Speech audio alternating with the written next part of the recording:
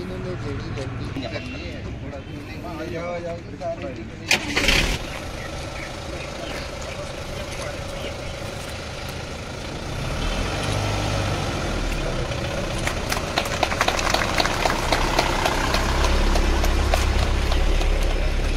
और ये अपना एक्सपीरियंस बताएँगे एज टीवी चैंपियन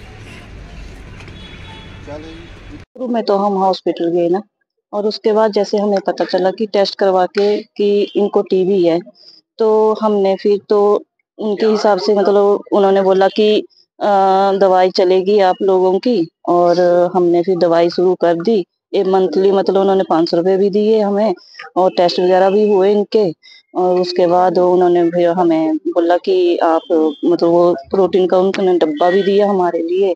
तो मन, मन मतलब महीने महीने हम फिर वापस गए वहाँ पे दवाई ली हमने छह महीने तक इनकी दवाई चलाई। और वैसे तो हम लोगों ने भी टेस्ट करवाए हैं सबने।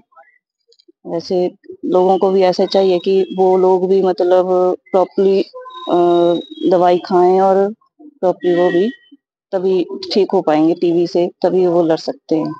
टीबी वाली बीमारी से तभी लड़ सकते हैं। लोग जो मदद कैसे चल रहा है? निक्षय मित्र में काफ़ी लोग आ रहे हैं बीच में और काफ़ी संस्थाएँ भी जुड़ रही हैं। अभी हमें सत्य साई संस्था के साथ हमने जो बात की है। तो आगामी दो चार दिनों में वर्षा से वो भी इस अभियान निक्षय मित्र अभियान से जुड़ने जा रहे हैं। ये सौ दिवसीय कार्यक्रम है। इसमें जन भागीता जन भागीता का अनुरोध किया गया है कि जन जन का जब तक ये अभियान नहीं होगा, तब तक हम टीवी पर विजय नहीं पा सकेंगे।